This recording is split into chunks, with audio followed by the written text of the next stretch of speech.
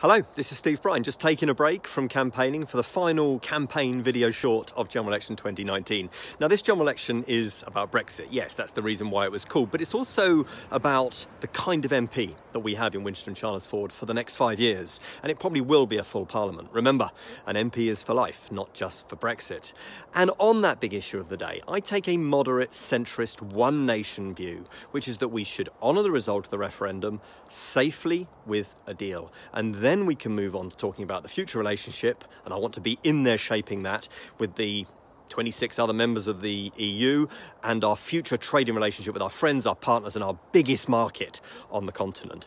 But also the 152 or so other countries that are not members of the EU and Parliament can finally focus on all the other things that matter to this constituency and to me as your Member of Parliament. Now, I'm an experienced MP, I've done the job for almost 10 years, and that delivers for our area. But I'm also a government MP. That means I have the ear of government ministers, and that can deliver for this constituency. So, major investment into our hospital, new investment into our schools, all comes from having that strong voice, that experienced constituency MP. So, I hope that you will support me at this general election on Thursday, the 12th of December.